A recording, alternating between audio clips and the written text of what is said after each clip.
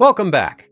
I hear tell the kids out there prefer their videos to get right into the action. No fluff, no intros. They ain't got time to hear the name of the channel, which is Thinking to Infinity, or hear some kitschy slogan like examining our world from an eternal perspective. Too slow, boomer. So on this video, let's skip the intro and get right to it. What do you say? Hey, why do Christians still eat pork and shellfish even though the Bible says not to? Is it ignorance? Hypocrisy? A conspiracy by Big Pharma?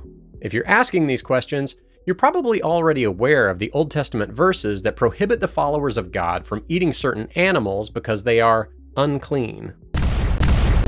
Well, I guess that settles it. The Bible says eating pork is as nasty as using somebody else's toothbrush. Barf! Looks like tofu dogs from now on. As always, the answer is a bit more complicated than that. So let's dig in. The Old Testament describes many things as being unclean, or even an abomination, like trimming the edges of your beard, planting two kinds of crops in the same field, and homosexuality, which, let's be honest, is usually the underlying reason this topic is brought up. Some Christians cite these Old Testament verses to show that same sex relationships are sinful and wrong by God's standards. But are they being consistent? Doesn't the Bible say these people are an abomination? Yeah, but you know, it says the exact same thing about this shrimp cocktail. Surely Christians should obey commands to abstain from these other unclean behaviors too, then, right? Is this proof that Christians are just hypocritical bigots? I think. That's worth thinking about. A good question to start with is why did God ban pork in the first place? Some theories suggest that it's because pigs are notoriously dirty animals.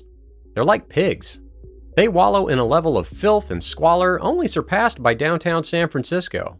Truly, you never know what those porkers will eat. They will go through a body that weighs 200 pounds in about eight minutes. So be wary of any man who keeps a pig farm. And if you're living in an ancient society where food isn't regulated by a government organization, antacids won't be invented for about 3,000 years, going kosher probably ain't a bad idea. But if that's the case, then why did God allow eating cows and chickens? They're not exactly sipping on kale daiquiris all day. But right now, they look like little kids at a Chuck E. Cheese, digging through and eating old crap and urine-filled straw. I don't think they're as picky as you think they are. In the Old Testament, God made a deal, or covenant, which is like a contract, with a guy named Abraham. The short version is God would take really great care of Abraham, he'd give Abraham a lot of descendants, and then through those descendants, God would bless the entire world. Christians believe this means one of those descendants would be Jesus, who would provide salvation for everyone so we all have the opportunity to be eternally reunited with God.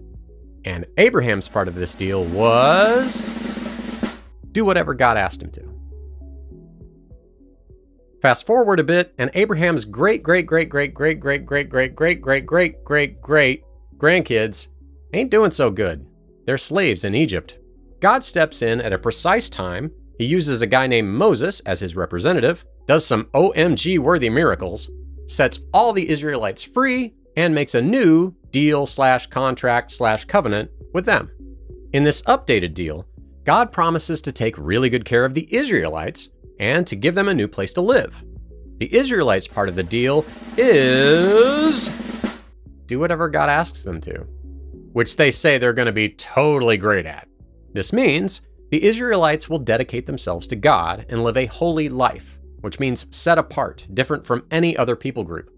It started off with 10 basic rules, the 10 commandments, the majority of which are still considered to be a good idea by most of the world, but the list grew. I don't have time to get into how and why right now, but if you'd like to see me do a full video on let me know in the comments. The list of requirements got lengthy. Among other things, it included dietary restrictions on what the Israelites could eat. Prohibited foods included rabbits, vultures, birds of prey, all insects except certain kinds of locusts. Bill Gates' bug burgers aren't kosher? Imagine that. Eels, catfish, camels, shellfish, animals that were already dead, and pigs. It's not too hard here in the West to go all your life without eating a camel sandwich. Kinda wanna try one. But no pork chops?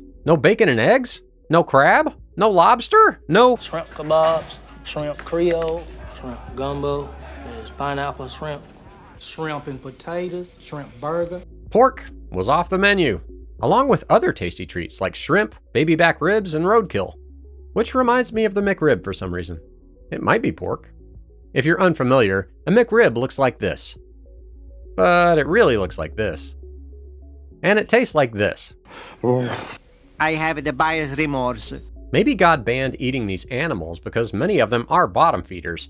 Or maybe God was just ahead of his time with going paleo. See what I did there is ahead of his time, paleo. Maybe it was to set the Israelites apart from the pagans, who ate a lot of pigs, along with other weird stuff like reptiles, dogs, and sometimes people, which is even worse than turkey bacon. So, avoiding pork was kind of like the Israelite version of don't do drugs, kids. But why all the rules? Well, God is completely perfect. And non perfect things, like us, can't exist near him, just like shadows can't exist on the surface of the sun. The law served as a clear example of how so many things that we do separate us from a God who is completely perfect. It's impossible for us to obey these rules perfectly all the time, so we're stuck being separated from Him. The law helps us realize if we're going to be saved from our sinfulness, it's going to take God Himself to do it. Foreshadowing. The Old Testament was the Old Deal, or Old Covenant, and the New Testament is the New Deal. This one isn't like the old ones. This time, God shows up himself as a human being, Jesus, and he finally fulfills the law, meaning he lives a perfect, sinless life. He accomplishes it. The law was the boss level, and Jesus just beat it. More on this later. In the New Testament book of Acts, Peter, who was one of Jesus' close friends, has a vision where he's told to kill and eat all sorts of unclean animals from the Old Testament law. And he's like, Is this a test? He's confused. The other white meat has been off limits for thousands of years. Peter's no saint, but this is one part of the law he's actually kept. Peter's like, Ah, make up your melons. and God's like, no, seriously. It's cool now. Pete's still like, mm, not falling for it. This happens three times before God finally convinces Peter that appreciating and loving all of God's creatures now includes how they taste. But plot twist!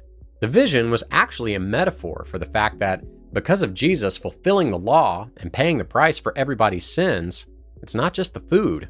All people are now clean, meaning we're all acceptable in God's eyes to be part of this new deal.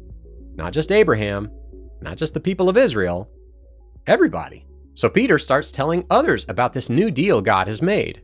The deal this time is that Jesus will restore our direct spiritual relationship with God and fix what's broken in us, which will also enable us to live with Him forever. Yay! So, share the gospel with everybody and try the sausage gravy. It's life changing. So, what's our part of this new deal? Trust in Jesus to accept the deal He's offering us. And. You guessed it. Do what He asks us to do. Okay, things are looking pretty tasty. God gave Peter a get out of pork purgatory hall pass. But what about everybody else? First, let me know in the comments if you prefer your bacon crispy or slightly undercooked, and why the undercooked bacon people are wrong. That brings us to Paul. He's like the Elon Musk of the New Testament. He's brilliant, was once loved by the powers that be, but since he's not a sock puppet for the rich and powerful like most celebrities, he shakes up the establishment a lot. In his letter to the Romans, he agrees with Peter and writes that nothing is unclean in and of itself anymore. Paul, being a Pharisee, knew that we humans often get so caught up in following rules and regulations that we can forget the bigger picture. Pharisees were kind of known for that. A modern example would be how most people were total about following arbitrary rules during the pandemic, treating other people like untouchable walking diseases instead of caring for them like human beings. Basically, we shouldn't focus on our freedoms as Christians as much as we do sharing God's love and grace. So, if you're a vegetarian, that's cool, but don't try to shame me for eating a burger with three different barnyard animals on it. On that note, cooks of the world, what's the deal with maple bacon? Peppered bacon? Jalapeno bacon? Stop it. It's bacon. It doesn't need your help. If I want cracked pepper on my bacon, I'll do it myself, thank you very much. But I won't, because I'm not a psychopath. In his letter to the Corinthians, Paul writes that Christians have the freedom to eat whatever we want, but if someone else's conscience leads them to view eating certain foods as wrong, then we should be considerate of that. So, if you're invited to a potluck with some vegetarian Seventh day Adventists, maybe don't bring pulled pork sliders. This issue really isn't just about pork, it's about the bigger picture of the Old Testament law versus the New Testament freedoms. The Old Testament law was given to the Israelites as a way to set them apart from other nations and to show them what holiness looked like. But the law was never meant to be the end goal. It was always meant to point to something greater, and that something greater is Jesus. He came to fulfill the law, not to abolish it, but to complete it. So, while the Old Testament law was important for a time, it's not the final word. We now have freedom like never before, but we should use that freedom to live in Christ and to love God and love others. Those things should be our primary focus. Now, that freedom doesn't mean that other serious sins like murder, theft, adultery, and other sexual sins get a green light now. Those are all addressed in the New Testament as well. In fact, Jesus said even imagining doing those things is still sinful and wrong. So, to sum up, why do Christians eat pork? Because it's freaking delicious. And we can. We have the freedom to enjoy all the culinary wonders of this world, as long as we do it in a way that honors God and shows love to others. We don't have to follow a legalistic laundry list of rules to be holy. We put our trust in Jesus and rely on His perfection and grace to change us to make us right with God. So the next time someone questions why you're enjoying a slab of honey ham, or treating your special lady to a captain's feast at Red Lobster, crack a Bible open to Mark 7:19 and let them know Jesus says I can. And don't hog this channel all to yourself. I'm sorry. Please share this video with a friend. Remember, Eternity is on the line, and that lasts forever. I hope you choose well and keep on thinking to infinity.